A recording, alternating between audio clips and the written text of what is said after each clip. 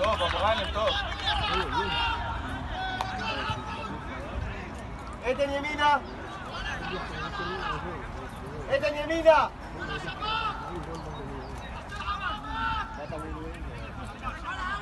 اطلع اطلع أنتوا الاثنين ورا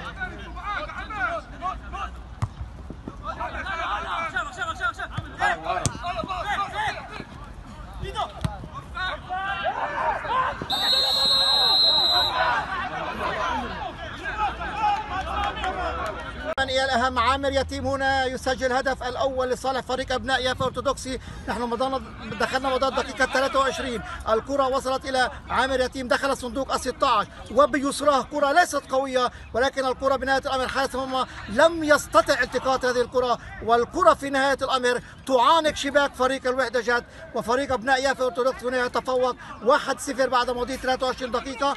دعني أقول هنا أن المباراة هي إلى حد ما متكافئة ولكن ضربة ركنية لصالح فريق أبناء ارثوذكس ولكن الكرة تخرج الآن ضربة مرمى لصالح فريق الوحدة جت. اذا دخلنا مدار الدقيقة ال 24 هنا في ملعب يافا والنتيجة هي اليافا الارثوذكسي واحد الوحدة جت صفر. إليك محمد في هذه المرحلة.